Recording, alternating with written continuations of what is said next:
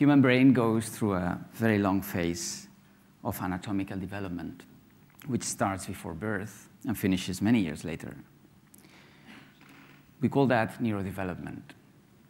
Anything that is interacting with the um, construction of his brain will lead to a problem in neurodevelopment. Well, we all know that there are problems in neurodevelopment that are very serious, but actually the majority of these are not so serious, so they are not so obvious. They are serious, but they are not obvious. They affect cognition. Cognition is the process of knowing.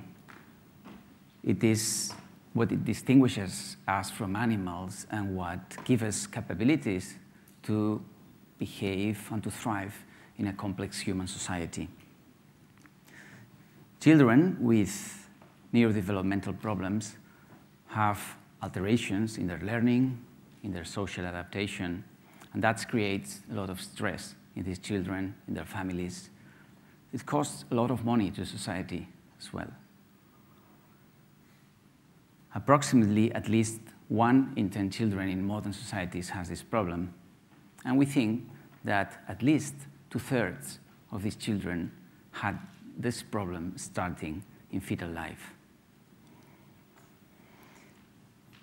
I am a fetal medicine specialist, and I am supposed to be an expert in treating and diagnosing fetal diseases. However, uh, for many years, I thought, like many as me, that there were only problems in the brain when something very serious was happening inside, like a very severe asphyxia, very severe infection. But actually, we were wrong, because that's not the case. In reality, we know today that this brain here is extremely sensitive to many conditions that for long we thought would be not so important. We know now that these conditions are changing the configuration of its brain and that will make that this brain works differently after birth, which means all the rest of our life. And that's, in a way, quite logical. We should have been aware of that because uh, the brain is really changing a lot. That's a brain at 20 weeks of gestation, about halfway through the nine months. And that's a brain at the end of gestation. There have been millions of neurons who have been created every day here. Not only they are created, they just migrate from the center of the, of the brain to the periphery, to the cortex, and they grow so much, they, they fold the cortex and they create this typical appearance of the brain. Not only they grow, but they organize, they get connected, they create networks. Of course, they are not functioning yet because the baby is not actually thinking, or at least as far as we know. But they are creating the basic networks that will serve as the platform for a normal function. But everything has to be perfect because this follows a very carefully designed program, and everything has to work in a perfect environment. What happens when the environment is not perfect? There are many examples about that, but I will talk you, I will mention just one. Fetal growth restriction is a problem that happens when the, when the placenta is not giving the fetus all the nutrients, all the oxygen that this fetus needs. And that is creating a real problem in the program of the construction of the brain because how can, how can the genes manage that? They have to adapt. Well, some of you will be aware of epigenetic changes. Genes really can adapt to things, and these epigenetic changes will take place, and the brain will eventually be constructed, but in a different manner. So, and these changes, even if the conditions change after birth, will remain. We have had fetal programming. And that's what fetal programming is. Fetal programming affects many organs. It's not only affecting the brain, but uh, since we are talking about neurodevelopment, we will focus in what is the impact in the brain. And actually, in reality, we don't know exactly how this is working, but we know the final result of this process. And the final result is really that this brain will work differently and will sacrifice superior functions for the sake of conserving survival. And that's a logical thing that these problems remain, because that's a law of nature, isn't it? The younger we are, the more the influence and the environment has on us. And that applies at the maximum expression in fetal life.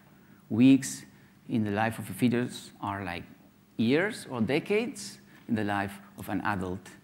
So the problems that happen during our fetal life change the configuration of our programming for the rest of our life. And the, they will remain in this position as we left it unless we use and take advantage of the ability to revert these changes. This ability is, in theory, proportional to the magnitude of the occurrence of the changes. And therefore, we should be able to use this ability. However, there are many problems. And if we talk about the brain, these problems are clear. There is indeed brain organization lasting after birth has taken place. The brain will continue organizing, and therefore we could use this window of opportunity to act and try to change the evolution of things. However, the problem is that we are not aware that this brain is different. The brain is a computer that starts working little by little.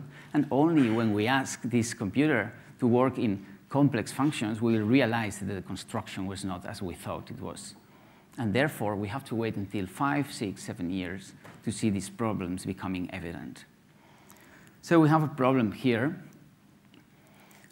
but also an opportunity, of course, and that's what medicine does, trying to convert problems in opportunities. It's a clear opportunity for public health.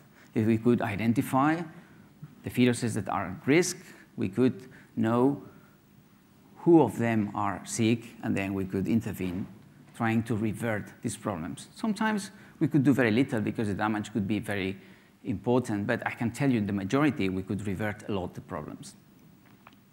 So, of course, that is a huge challenge, but that's the modern medicine we will do in future years. I don't know who of you are aware, but that's the medicine of the future. 4P medicine, it's a very famous uh, name. We need to predict we need to prevent. We need to do that in a personalized way. And that's the way we will work in future years and future decades. So the advance of these three goals that I just mentioned in the left is different. And we have advanced a lot. We know very well how can we identify groups of fetuses that are at risk, and we know how to intervene on them. But the main problem is in the middle. We don't have good biomarkers. And that's a challenge. What is a biomarker? Well, a biomarker is anything that you measure in human body that tells you whether you are sick, whether you have uh, severe disease, whether the disease is milder, whether the treatment you are taking is going good or bad. Everything is a biomarker. Everything you can measure, blood pressure is a biomarker, actually. But in the brain, that is fairly more difficult. We cannot measure brain pressure. And the problem is that we are not looking for damage. Most of imaging techniques were developed to see differences in the structure. But there is nothing missing in these brains. These brains look the same when we look with the eyes of today's medical imaging. We need to see whether they are different inside, whether the wiring is different, whether there are things that we could, but how could we do that? That's a typical, again, example of modern research. We need to make questions that are very difficult. How can we see differences years before that they become real diseases. And that's the challenge of, of research, and it's not an easy thing. I will explain you a little what we've done here and how can you solve that.